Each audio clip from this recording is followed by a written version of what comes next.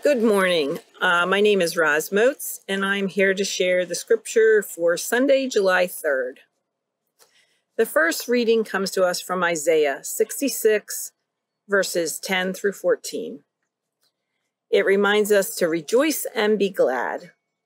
These verses portray Jerusalem as an affectionate mother who nurtures and feeds her babies, carrying them in her arms.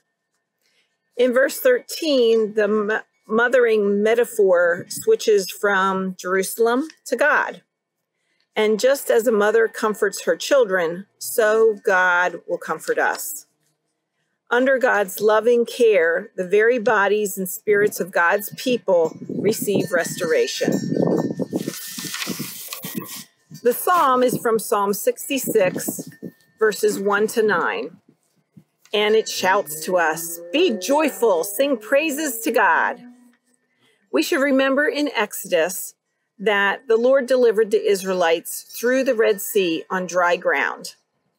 And as God works miracles or answers prayers in our lives, that we should never forget to give him many thanks. The psalmist calls all the earth to make a joyful noise, singing praises to God's holy name. The second lesson comes to us from Galatians chapter 6, verses 1 to 6 and 7 to 16. In this letter to the Galatians, Paul reminds them that their faith makes them part of God's family. But no one should ever think that they can live totally independent or that they don't need to help others, because that goes against everything that we're being taught as the body of Christ, the church, we need to work together for the common good of all. But we also need to be careful and we need to protect ourselves from things that try and lead us down the wrong path, such as temptation. It also calls us to take care of our spiritual leaders and uh, we are to have a gracious spirit and show honor and appreciation to them for all that they have done. So, thank you, Pastor Bob, for teaching us about God's love and for also teaching us how to be caring and to serve others. I know that these lessons have not always been easy, but I see a healthier, more loving, more caring, and generous congregation for all of us that live in this family of faith.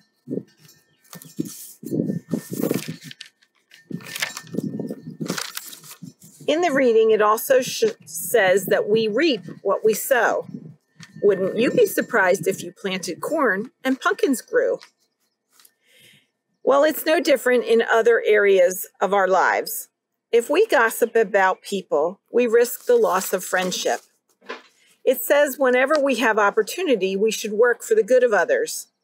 If we plant seeds to please God, we will reap joy and everlasting life. What kind of seeds are you planting in your life? The end of this passage talks to us a lot about circumcision. And I'll be honest, it's a little confusing. But what I really think about what it's saying refers to us here today.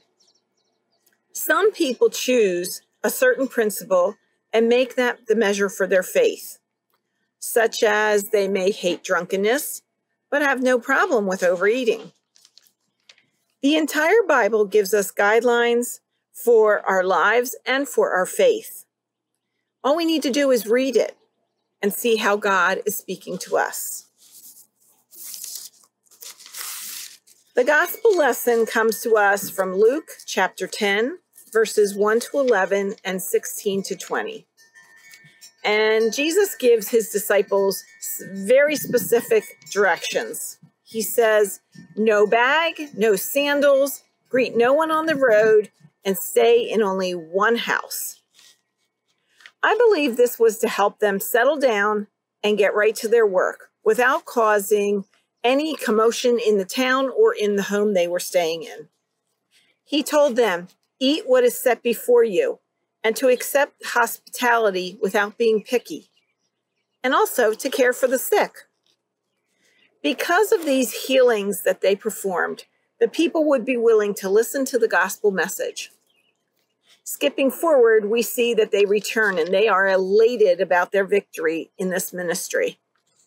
Jesus rejoices with them, but he also helps them to get their priorities in order because he reminds them of the greatest and most vic- most important victory that we have, and that was that their names would be written in heaven. As we see God's wonders before and in and through us, we too should not lose sight of the greatest wonder of all, our heavenly citizenship. Eternity with our Lord and Savior is the greatest gift, and Jesus died so that we could all receive it. Thank you. Have a great week, and I hope this has been helpful.